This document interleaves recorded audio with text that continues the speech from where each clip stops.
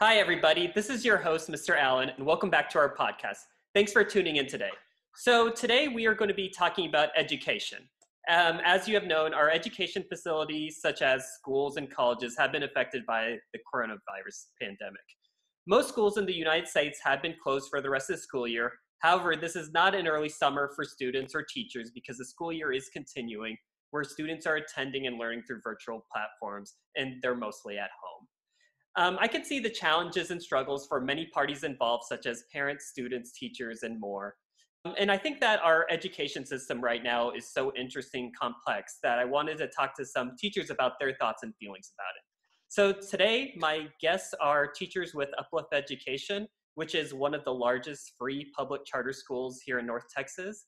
I worked with them at Uplift Meridian for about two years, which was a lot of fun and which was awesome.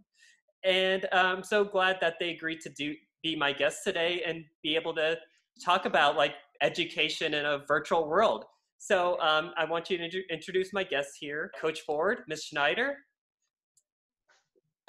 Hey, How are you guys doing? Doing good.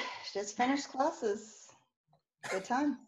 Yeah, I'm doing pretty good. I just got through a day of meeting with different teachers and meeting with my kids throughout the day and balancing living with some different family members. So, yeah, I mean, it, yeah, that's something I'm really interested to, to hear more about is just what um, your day looks like compared to what it was.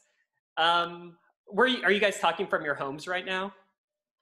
Yep, I'm at my house, so if anybody hears any dogs barking, uh, there's two boxers sitting right beside me. So that's what I deal with on the daily. But yep, I'm at home. yeah.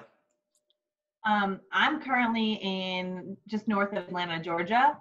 I'm staying with my brother and his family and his two little kids. Um, I just knew that it was going to be hard when all this hit. So I packed up and thought I was going to be here for two weeks, and turns out it's a lot longer. Yeah. Um, and how how has that been? Like getting to spend more time with your brother and his family out there.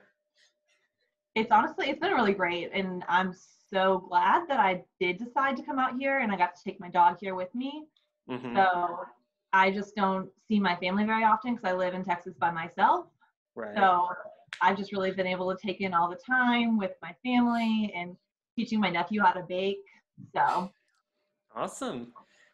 How do you guys feel like your dogs are gonna like adjust once you actually have to go back to work? Uh, mine are gonna hate it. They're, my dogs are going to hate it. I have a very old, old boxer, and um, I don't, I don't know. I worry about her when I go back. I'm very nervous. My dog has a lot of separation anxiety, and I think that I just brought everything back from her, for her, and she might eat another couch. Oh, another couch yeah, I forgot about that. um, so I'm interested. Like, how's a uh, social distancing and quarantine going for you guys? I mean, I don't know. For me, it's a little different. My husband still goes into work every day, so things have not changed for him. So for mm-hmm. us, like we're we're doing we're going out where we can, what we can, being careful, but you know, still trying to go and do however we can. Um, but we're trying to leverage the time here to uh, you know get a few things done. We got our boat ready to go in the water and that kind of stuff so yeah. awesome. Yeah for me it's just been um it's doesn't impact me as much. I don't feel it as much because i am in a different environment. So i'm just kind of staying at home with them. My brother's lucky enough that he gets to work from home as well um, we take like our weekly grocery trip and like load up on everything, come home and like we wipe everything down just because there's little kids running around and yeah. we just want to make sure everything is safe. Cool. Good deal. Yeah. I mean, it's, I mean, this has been a lot longer than I know that any of us expected. And so, um, but yeah, I mean, we're still here. Um, so before um, we get into like the main thing, main topics and everything, I want to like hear your stories on um, what made you want to become teachers. What did your journey look like? Um, I don't know. I didn't start out that way in college, um, and I kind of got persuaded from journalism t- into more kinesiology. and just for my love of sports. And it was kind of suggested to me to get a teaching certificate. And I saw myself really only coaching and teaching PE. And then I found myself teaching English and journalism and reading and all these things uh, for pretty much uh, what 12 13 years before coming to uplift so yeah um, for me it's kind of i just grew up around like the education system and everything my mom was a teacher my dad was a teacher for a little bit and i started teaching swim lessons like when i was 16 as soon as i could be like certified as a lifeguard Oh, um, cool. and I did some teaching and daycares in college and stuff. So I kind of just knew I loved working with kids and just kind of fell into it. Awesome. And how long have you been teaching for again? Uh, this will be my fourth year, finishing my fourth year. Oh, great. Yeah, I remember. Was was I there when you first started? Was You that your first year? Yeah, that was that was the first year I started my job too. Yeah. You guys were there for it as well. Uh huh. Yeah. That's great. And which uh you're not at Meridian anymore. Which school are you at now? No, I'm at uh, Uplift Elevate. It's a brand new school this year. Okay. And what grades do you teach? I'm teaching first grade now. First grade. Awesome. Yeah. Okay. Yeah, and coach your um K through 5th, right? At Meridian? yep k through fifth it took me a long time to get my dream job but i get to teach pe all day now so Awesome. yeah, PE's the best. Um, they might, I mean, kids won't admit it, but it definitely is. it- Uh, my kids are like, "Is today PE day?" They're like always hyped about it. They like love to run around, oh yeah and we love it too. Hey, I've been Yeah. having about 65 kids come to PE online. So, yeah. Awesome. That, yeah, it's definitely not, um, definitely not losing popularity since that all this has happened. Um, so before um, we talk about like how things have changed, I wanted to hear about like what your school day looked like um, when we had kids in session at at the schools and everything. Um, I would say mine probably vastly look different from um, Miss Schneider's, just in the way that I have a different group of kids about every 50 minutes. Um, so, you know, I start my day with uh, second graders, then third graders, um, first graders, and then uh, kinder and older kids in the afternoon.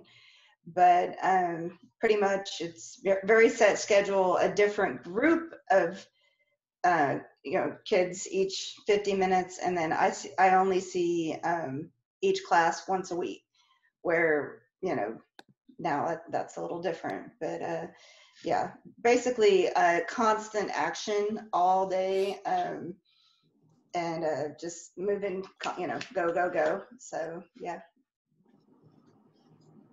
Yeah, for me it was much different. I mean, I'm with the same group of kids all day. So my kids would come to school um, at 7:05. They can get breakfast, and we like do the monitoring and duties in the morning.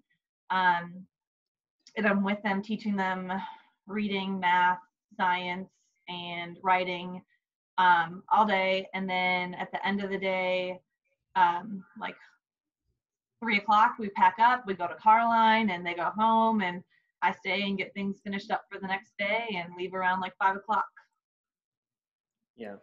And yeah, and uh, I mean, I'm not a teacher, but I mean, I was at your school for two years, and I did kind of get to see um, what what life looked like as a teacher. And I've thought about teaching before because I think, especially in primary school, which is what you both teach, is I Mhm. feel like that's something where males um, there's not as many, and so I thought there would be such a beneficial, um, you know, for them to have that experience for a male teacher. Um, but I mean, things that scare me about being a teacher is like kind of like what you talked about, Ms. Schneider, about being with your kids all day, every day. And also, like, another thing is just not being able to go to the bathroom. I mean, like, you're just, I mean, you're stuck with them. You can't just leave them. You have to find a teacher friend that you can knock on the door and they can stand between the two classrooms and monitor both of them while you run to the bathroom real quick. You find your ways around it, but yes, it's definitely challenging. That or teach specials or secondary, then you have time between classes. It's a very That's short true. amount of time, but you, you get it done. You learn to get it done. Yeah. But yeah, I mean, like you said, we don't have a single male teacher in our primary school right now. So it's definitely more male representation is needed. Yeah. Yes, great. Yeah, especially for younger kids. Yeah, and I feel like I've definitely noticed that when I was at Meridian, um, just being able to connect with them, and so yeah, I enjoy. I mean, I I miss that those times. Those were great times. Um, so I wanted to talk. I wanted to ask you guys, um, what is it like to be a teacher? Because um, people have an idea that it's just that you're teaching, but there's just a, whole, a little bit more to that. So how would you describe like what a teacher is? And I think we we wear a lot of different hats in one day. Um, you know, sometimes we're the parent and we've got to kind of have that grace and that love and just just love on them. Other times, you know, we're the enforcers.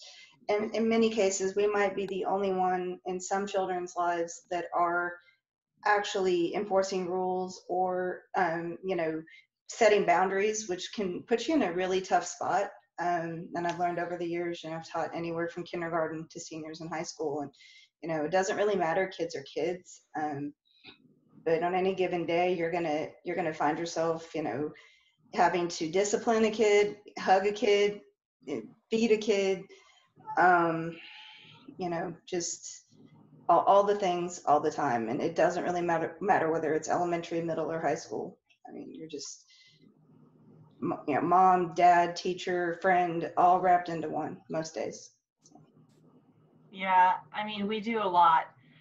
I know one thing that like is huge is developing like a classroom culture.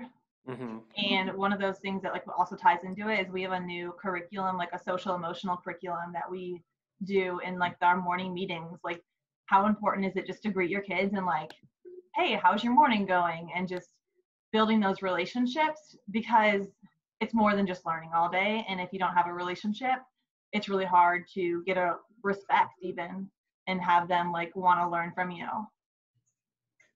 Yeah, and and uh, yeah, and I never. I mean, I guess I never really thought about it whenever I was a kid. When I was in teaching, I think it's also just a different culture that we're growing up in, where relationships are very important. And now, as teachers, you're asked to be a lot like not just a teacher, but every like a counselor, a parent, a friend, and all those things. And I mean, it's not easy to be able to find a way to balance all those things.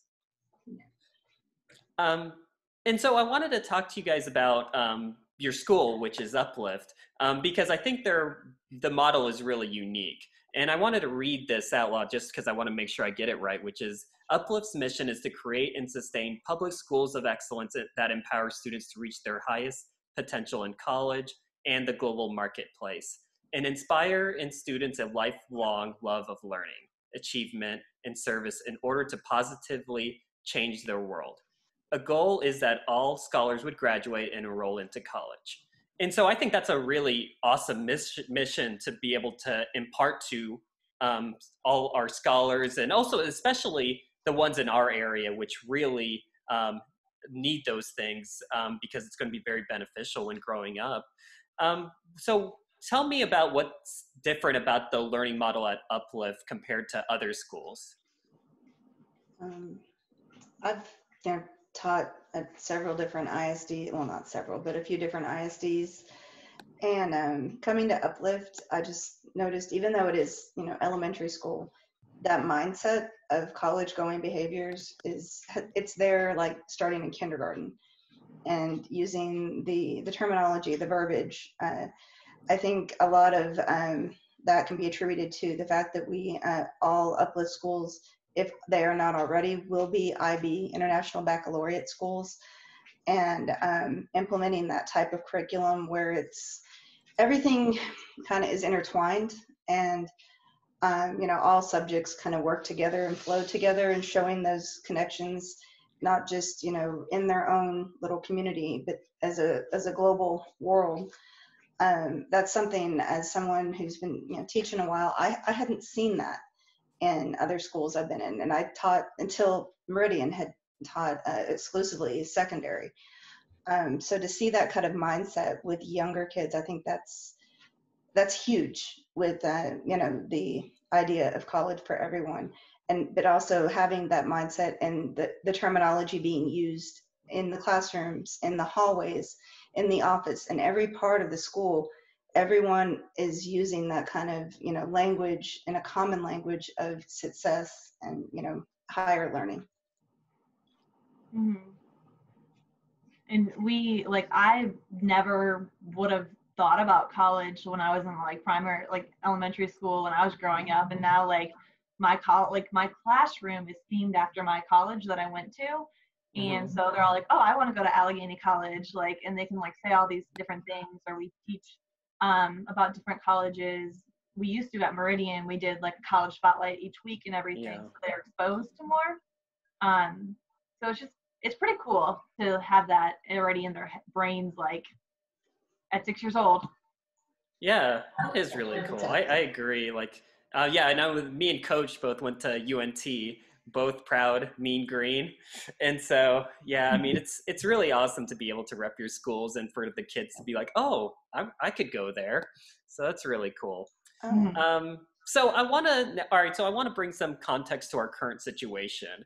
Um, so before, so we were on spring break, which was about the second week of March, and um, so the coronavirus kind of just started hitting, and then our close, our schools closed temporarily for two weeks at the time, and then it temporarily just kept increasing um, throughout throughout time, and then eventually um, most schools, like at least in Texas, um, have been closed for the rest of the school year. Um, kind of like I said earlier, it's not that we that school is canceled completely; they're still learning. It's just they're not coming physically. And Mhm. so it canceled like all sorts of plans, such as the STAAR testing got waived, uh, field day graduation award ceremonies aren't happening in the traditional sense. And um, as teachers, also like kind of like what you were talking about earlier, Ms. Schneider, about building relationships with these kids, never really get got, got a chance to say goodbye or give that one last hug to your students. So I would just this is something I really want to hear about is like what are the struggles of this situation that we're in that maybe people don't really realize teachers are struggling with. I know, like for me and Alan, you and I talked about this before. Um, this particular group of fifth graders at Meridian was my first group of kindergartners when I came to Meridian. So I had Mhm. never, since my student teaching, I'd never taught elementary. These kids, uh, I like to tell people, they broke me in, um, you know, good and bad ways. um, and for me, it was going to be something very special that I was there that whole time with them to be able to watch them take that next step, you know, kind of ceremonially and with the awards and whatnot. Um, so I, when I, and you guys are, know this, when they made the announcement official with Uplift, um, I, I was devastated. Like, I, I hate to be like overly dramatic, but yeah. Um, and I actually took to social media and just kind of put my feelings out there and found out that I was not the only teacher that felt this way. I think we all, in a sense, feel robbed because those relationships were there, but this is the time that you get to have to really kind of just foster those relationships for a lifetime. You know, have the the celebrations, celebrate the hard work. You know, field day. I've been planning an Olympic themed uh, field day for months now, and you know, um, as you, you both know, we my running club does a race in Lake Worth, uh, the Colson's Frog. I up until the day before the race, I still had kids asking me, "Well, what time are we meeting?" I'm like, oh. so um, yeah, you know, the things that we look forward to, they they're no more, and then having to temper that with how you explain it to a child, and I'm still meeting with them virtually every day. So to look at them even through a screen and say, I don't know.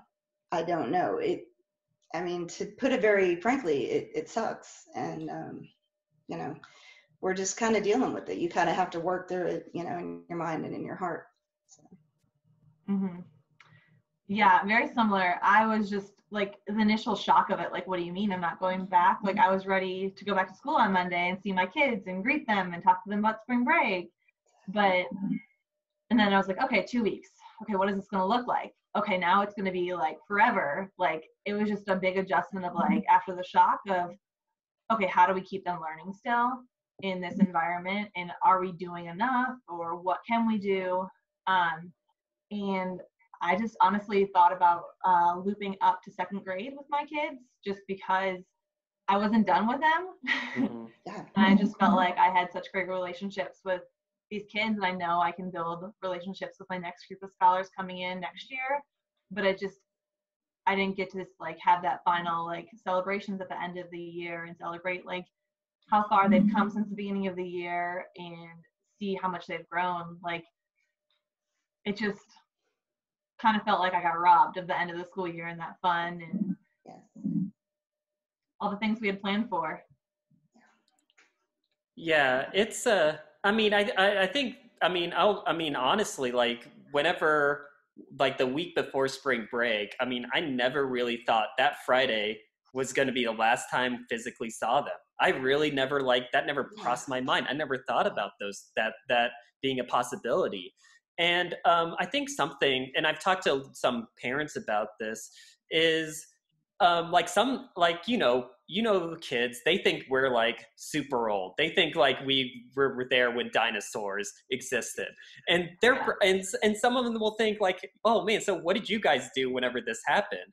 And the thing is it's like this has never happened. I mean i was like we really don't know. We're experiencing this with you guys as well. Right. Exactly. uh, and so yeah it's just uh, and i think that's and i'm glad that you sh- shared those things because i think um, that's what pe- i think some people think that oh you get a break but that's not how we view it especially as educators and as people who invest into kids is that these are people we invest into like for some of us like who don't have kids these are our kids and Mhm. um, for them to to not be there and kind of like what you talked about coach ford like your kids that you started with in kindergarten and are fifth grade and there's a possibility that you might not be able to get to see them next year because they are going to move to middle school and everything Exactly. and it's just difficult yeah and you know And, And so- those were actually my first group of uh, second graders as well. And so I had planned to like go back to Meridian and watch them graduate too. So a lot. Yeah, it is. And so, um, I mean, and so you talked about it. You said you still get to see your kids because you guys are doing virtual teaching. And so, what is that like? Um, virtual teaching and like creating videos and teaching kids just through a screen. Like, what's that experience like? Um, I go first. Uh, I don't know. I, I don't want to sound too negative uh, because it, it's been a steep learning curve, and I definitely can say that I've learned something out of this. Um, but I can also say that I've learned that I, I would not be a good distance learning teacher, whether it be some of the different programs people do or through college, um, just because I, I want to have that time with the kids and I don't know. It it's just so awkward through a screen, um, and having to learn. Like my videos took forever to record. Um, I had to have at least one video a week. I usually had three or four um, posted to YouTube, and then of course to our website. And um, it would take me forever because I would I would just like carry on talking to the camera like I'm talking to the kids. I'm like, oh my gosh, they're not going to watch watch all this, and I'd stop, re-record, be more concise and then having the classes with them like i mentioned earlier in some cases i might have 65 kids show up and i i offer several different times throughout each day you know all, five days a week but for whatever reason they all like one o'clock which i get it at, they're, at that point they've got the wiggles. And i i love that they're all there but trying to manage it. And we do have to make sure we track attendance for anything we do. So you know t- taking attendance sometimes can take you know five ten minutes in some cases. And that you just you got to learn ways around that. It, it you both have heard me talk about like oh I, I have to figure out how to mute them so i can give the instructions and I, I learned that. Today we had a discussion about chatting and how they are not to be chatting when we should be doing exercises or while i'm giving instructions and how we should not be inappropriate in our chatting. And you know things that you're i just it didn't enter my consciousness at all some of the things that um, i've dealt with um, and, and then you also have to kind of look at the oh i'm in my house i've got my dogs here um, you know i had one of the dogs was being super noisy and wanted to go out, I had to literally, okay, guys, I'll be right back, and had to let the dog out, come back to the screen. Uh, but also just that, like, I, oh, I'm gonna run a load of laundry, and I, I've got 10 minutes before my next class, and it's just, it's, it's, it's awkward. It's weird. I'm not in the building. I'm not in my routine, but I'm still trying to have those touch points, still trying to still have those experiences, and also just making sure that those skills that I taught them are not kind of they're not going to be forgotten. Um, so next year, whether whatever grade they're in, we we we're not starting from ground zero, you know. Mm-hmm. Yeah, and it's been a very different experience. We have done a combination of both um, YouTube videos and um, doing like Zoom sessions with our kids. And we have been trying to um, i've like personally i've been doing like a math video every single day and posting it on youtube because i don't want them to go into second grade and like hey you missed for two months of learning and go ahead and try and do the second grade curriculum now. Um, so like trying to get them new content and hoping that the foundations that i've built up since the beginning of the year are going to get them to kind of understand or they might have support at home but you don't know what's going on in their homes as well. Mm-hmm. And hope like when we have your Zoom um, classes that they're going to show up, but you never know who's going to show up. And so you can't just be like, oh, they didn't show up this week, so I can just, you know, teach them again next week when you have people who are showing up like every week. And you just have to keep on moving and hope that they're doing something to keep learning. Because we can only do so much as teachers. And I just have to keep reminding myself like we're doing what we can and they have access to what they have access to and we can keep trying yeah, that's exactly right you, you just you know we only can do so much sometimes i think we're just kind of throwing darts in the dark trying to ho- hopefully we're hitting the targets here and there um, it, i think ms schneider nailed hit the nail on the head you know we only can do so much and um, we're I, I know everybody I know and everybody at Meridian and uh, all my other colleagues from around the state, they're they're giving it everything they've got.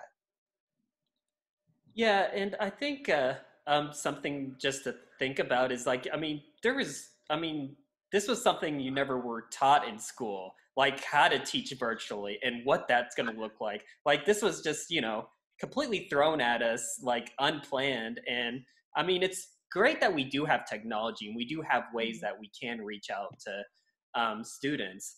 Um, but at the same time, like it was just you know an adjustment adjustment that we had to make. And um, I mean, I watched some of your uh, videos, Coach Ford, and I was like thinking, oh man, I could use these with our kids once we're, we're there when they're ready to get back into um, to whenever we take them back into the club. And um, I haven't seen your channel yet, Ms. Schneider, but I mean that's something you know we do have we do prioritize education, and we can use and those are things we can use as well.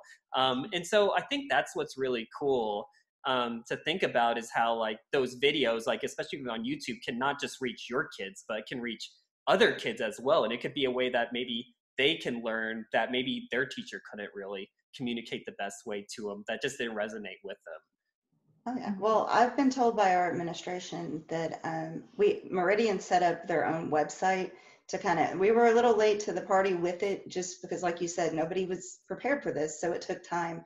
Uh, someone donated their time and talent to create this website, and um, everything that we um, that the Meridian teachers have created, lessons wise, will still live there. So once mm-hmm. we're back to normal, um, that will all still be there. So whether it be for a sub plan, um, enrichment, whatever. Um, so I do think if you want to look at it that way, yeah, we this work the work we're doing is not in vain. It will be used. Right. It wasn't just as a response to this. Yeah, and uh, let me ask you guys something. So do you think that with like you know you're you're kind of learning these new skills on how to teach virtually and like creating videos and being able to create content that way do you see that being something in the future for education or even for yourself to use that in your classrooms whenever you go back oh yeah i mean i think you know even though it's still not something that's natural for me i it will I, I want to be able to leverage these skills um, to just uh, I mean, we're clearly working with children that are, you know, technology driven. So, I mean, I, it would be an absolute waste of time and talent for me to just be like, yeah, wait, I don't need to do that anymore. No, absolutely, we'll be leveraging these skills um, when I'm, I'm still back in the gym. Yeah, we're always like looking for different ways to like implement different technology into the classroom and stuff. So I definitely have gotten the hang of like making Kahoots and just making all the different like technology resources and then also being able to like expose the parents to like hey this is how your kids log in in the classroom and this is the resources that we've been using and i gave them like that big list and all the links to the resources. Um, i definitely think it's something that's going to help our scholars in the future of like different supports that they can have at home and in the classroom yeah for sure um, um, let me ask you guys something. So um, I've heard this from parents that are struggling because they've transitioned into a, a homeschool teacher, and they don't, they haven't learned the skills, or they just don't know the best ways to teach their kids. But they still want their kids to have an education, um, but they just sometimes they just struggle. And so, what are ways that parents can help their kids with their schoolwork and education through this time? What are things you guys would recommend um, ways that can possibly help? Well, I mean, one thing I, I keep reiterating to our parents through email, phone conversations, however, is that, you know, the teachers, they're not gone. And um, yeah, they, they may feel a little lost with whatever is being put out there, but I, I encourage any parent that's struggling, and especially in these last few weeks to just reach out to their child's teacher or teachers if it's uh, secondary, but just to make sure you know they're there to help and explain, and um, you know they're not they're not doing this alone. Um, and I would think that's their best resource right there are the people that you know do this job on a regular basis.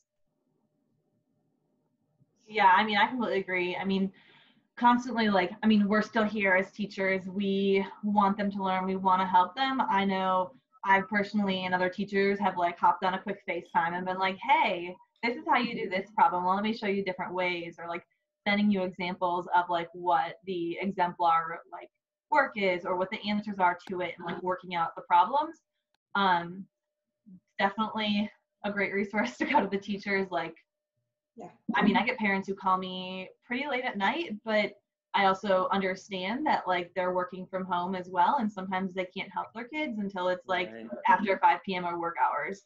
So it's like a fine line of when our workday ends, but it's also when is the time that's going to work for their kids as well and your scholars. Mm-hmm. Yeah, I've run into that as well. I mean, with PE, it's not so much, oh, how do I do this? But sometimes it's more like, well, what can I do to get them moving more? This, you know, in addition to the things I put out there. And I mean, I had to keep in mind that a lot of our parents at Meridian, they're still, go- they're like my husband, they're still going into work. So when I'm, I'm doing these Zoom classes or their kids are accessing the videos, it, they, they're probably not home. So um, yeah, I, I answer my phone after hours because I know, hey, they just got off work and they need to talk it out.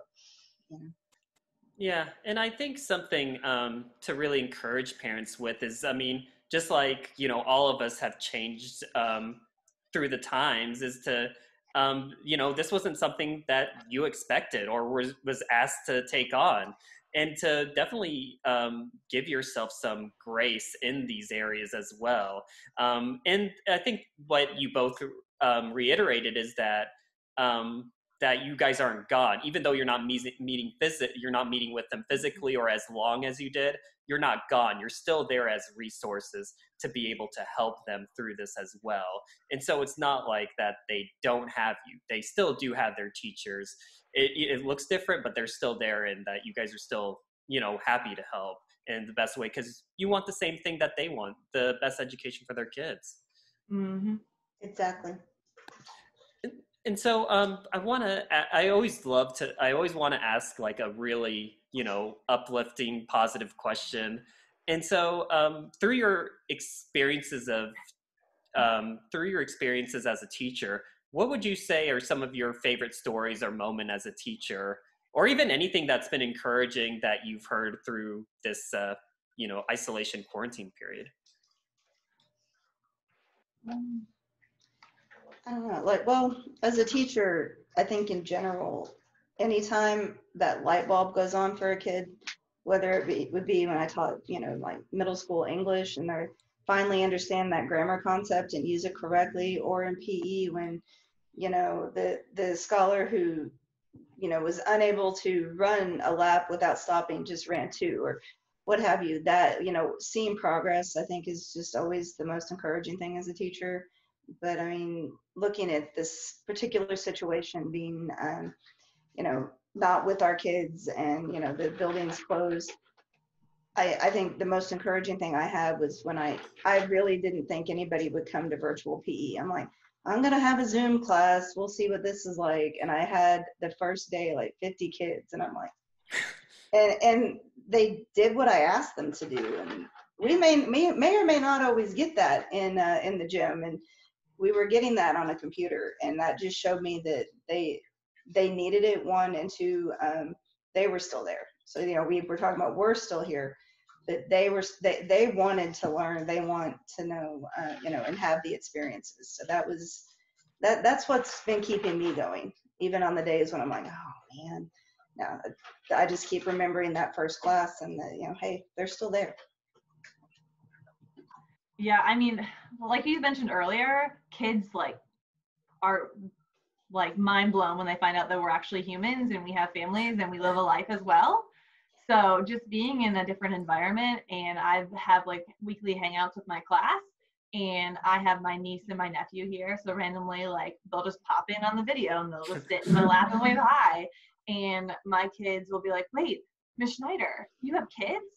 I'm like, no, no, no, I don't have kids. And they're like, wait, if you have kids, we should call you Mrs. Schneider and just like the funny like stories and like just the funny moments like they're just they're kids and you're just teaching them these things and they're just say whatever comes to their mind so it just it's always entertaining yeah i agree i know mine like in my classes the virtual classes because they they all know my dogs they know my dogs names because that's something i share and bond with them over like when we would be in class at school. And so they would start calling the dogs names during class as I'm trying to. So that was fun. One of my favorite things, like uh, that I've done each year since I started working with Boys and Girls Club, is doing our um, Cowtown 5K with the kids. Um, that's always so much fun um, to be a part of and to also just to teach them about exercise and also something that all three of us are really passionate about which is running something that we really get to do and we get to include them a part of that experience and um, and i'm so glad we got to do that before this all hit that they, we got that experience with them because um, uh, yeah I, it's something i look forward to each year that we do it. My favorite weekend.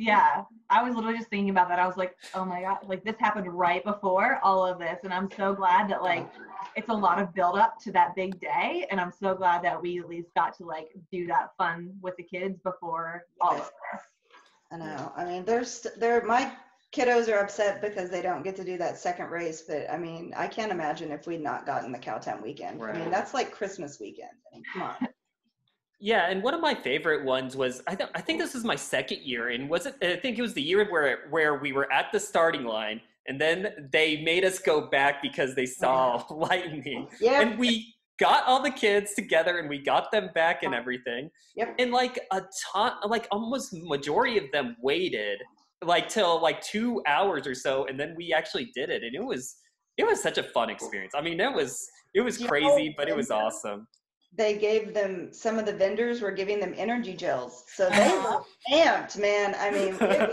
they were amped they were ready and they're like well we're going to get it done before the storm i'm like you're right you do go yeah and that was a hilarious year. they were eating all the things in the expo the turkey legs or whatever they were eating but you know what? They were ready to run. Oh they man. were. they were. Oh gosh, that's great. Um, so um, before um, we close out, there's a couple things we, I want to do. So um, one thing is is that I love to teach um, activities that we can do at home, and so I was talking to Coach Ford about this yesterday. Actually, was I looked at my calendar like the 18th, and we were going to do field day. I was set up. I was you know scheduled to be there and to help out with it, and um, and it's one of my favorite events. Like when I was in elementary school as well. And so um, something that Coach Ford you did as an adjustment is you actually thought and created a field day plan that kids can do at home with permission and supervision of their parents, of course.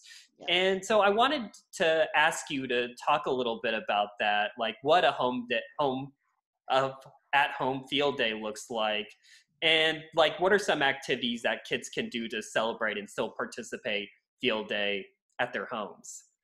Well, what we're doing is dedicating um, a whole day for it with Meridian. So they will uh, talk about and even do some of the uh, activities in their morning meetings with their homeroom teacher. And then I'm go- going to start PE early that day. Uh, actually, it's this uh, next Wednesday, the 20th. And um, we're going to do only seven rotations where we would have many more on actual field day. And um, instead of doing the uh, Olympic theme, my boss had asked me if we could keep it local and kind of have pride in our homes, uh, which I thought was amazing. So we're having a Texas Pride Field Day, and um, each grade level is adopting a city in Texas, and they're going to dress for the field day in athletic attire that reflects that city. It's going to be really cute. We've got a lot of coastal towns, so I'm I'm sure we're going to have a bunch of beach clothes, swimsuits, you know, the whole shebang for that. Um, one, I, my rotations are, I had to, I really had to think hard on this just because, you know, kids don't have a lot of equipment at home. Like I've been going over it, I'm like, okay, who has a hula hoop? And there's like crickets. Like, okay. So like for the hula hoop contest, they're going to move without a hoop like just do, do the motion of a hula hoop. I'm not gonna, you know, do that for y'all right now. but uh, you know, things like locomotor skill relay race, uh, or just on because there may not be that many people in their home, but just a race with either a sibling or a parent. You know, crab walking, bear crawling, frog hop, side shuffle, skipping, galloping. Um, for the little ones like K2, I have things, you know, walking, simple running, just things to have some fun and practice those skills they've learned. Um, of course, I have a water and healthy snap break in there because trying to keep promoting that idea of nutrition. Um, I have a jump rope contest, and each each rotation is only 10 minutes long. Um, and when we do it together as a group um, in PE, we'll try to. We might even shorten that a little bit more. Um, the jump rope contest again when i would ask hey who has a jump rope? Crickets. So we uh, you know they know how to jump without a rope because i don't you know if we're doing some kind of warm up in class i don't always bust out jump ropes because that can get a little much. So uh, they know how to jump rope without a rope just pretending.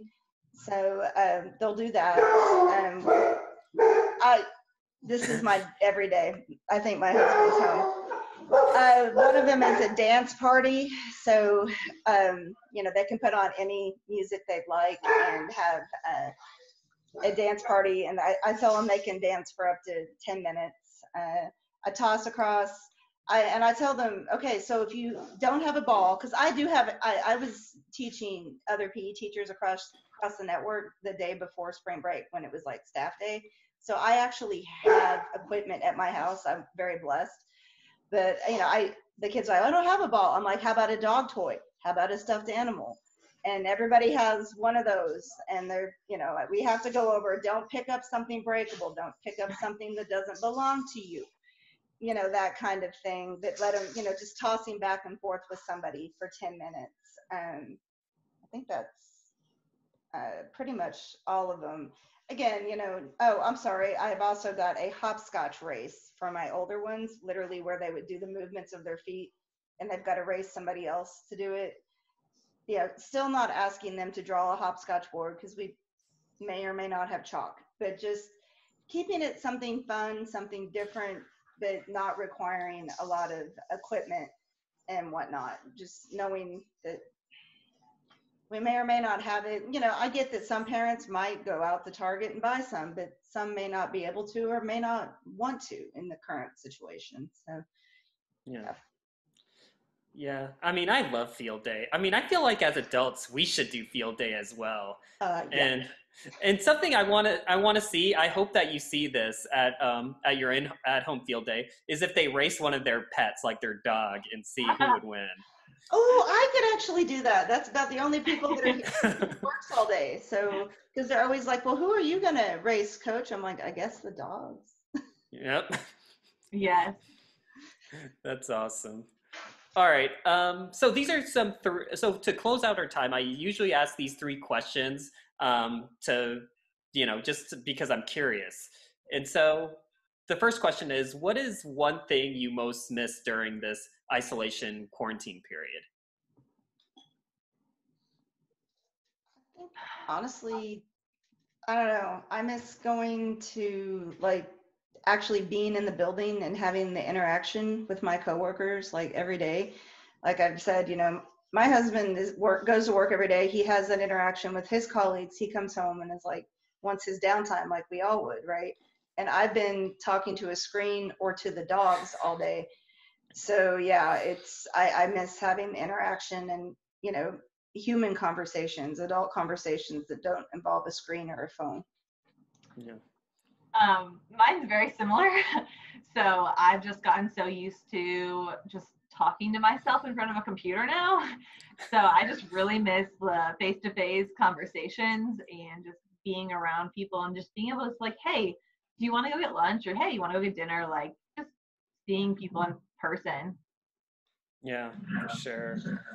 Anyways, also by the way, they don't have to be school related, work related, but it's cool if it is. Um, that I just want to let you know that. Um, second one, what is one thing you have learned through this time? I think I because I am very much so a planner. You guys probably know both know me well enough to know like my lesson plans are usually done in October for the rest of the school year, and I'm a bit of a control freak. So um, I had to learn to let go. Um, it wasn't easy, and there's still days that I'm just like, you know, um, but just learning that um, I can't plan um, you know, a month in advance, a week in advance, or sometimes even a day in advance. I have to just literally go day by day, minute by minute, and um, just I'm, I've learned to go with the flow to a point. Um, can't say that I'm 100% there, but yeah. Yeah. Um, I never really thought of myself as very tech savvy, but I feel like I've kind of become like, all right, I can do this, and like I've created some like different spreadsheets and like coded them to like do different things and just making different like invitations and all like just doing all the things virtually. Um, I guess like I've become a little tech savvy. Yeah, I think it's interesting. I think that I mean, in some ways, we've learned new skills through this, and also like with when you when you talked about control coach Ford, um, it kind of teaches us how lack of control we really do have when things like this happen. Um, so, last question is what is one thing you most look forward to when we are free again, when restrictions are gone and you know life is kind of like what it was before? What's something you're looking forward to?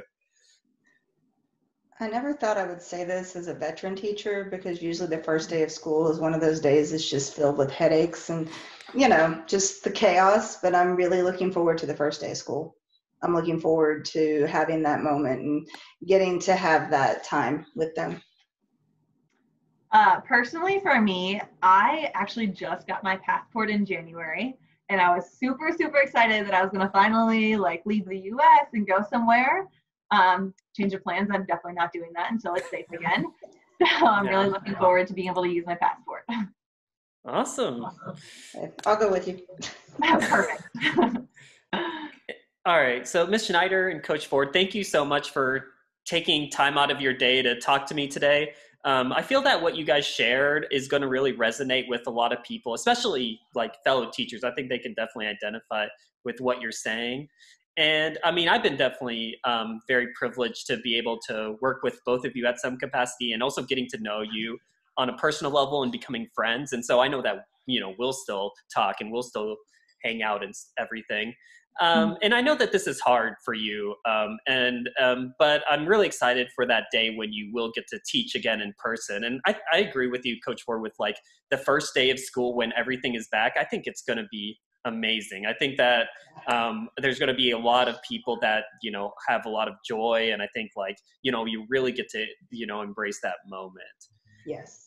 Definitely. Is there anything you want to say or share with your students um, before we sign off? Anything you want to say to them? Um, I miss you guys. Uh, I'm I'm not gone. Like I've said all along, I'm here. I'm just a phone call away. And to my fifth graders, uh, you better come and visit me. Like it, that, it, it's not optional. Um, I need I, I I need all the hugs when it's allowed. So Mm-hmm. Um, but until then, um, I'm just a phone call, a text, a Zoom call away. Um, I, I'm here for you guys 100%. Yeah, for me, I mean, I just want to tell my kids like I love them, I miss them, they're doing great. Like no matter what you're doing and what you're able to do at home, like you're gonna be ready for second grade. And like Coach Ford said, like I expect some visits from people and like feel free to send me anything via Dojo or your parents have my cell phone. I just love being updated on their lives, even though we're not in the classroom still. Awesome. Thank you. Yeah. And I mean, this is good um, for them to know is that, I mean, as teachers, we do care about them. We do love them. And, um, and I think that they know that even though they might not admit it. And, and just like we said, we miss you guys and we know that you miss us. I know you might not admit it to our faces or ever express this, but we know that you miss miss us, and we can't wait to see you again. Yeah. Um, so thank you guys so much, and just remember to be healthy, stay safe. Please be kind to one another, and um, we're gonna make it through this. And we'll see you next week. Bye, guys.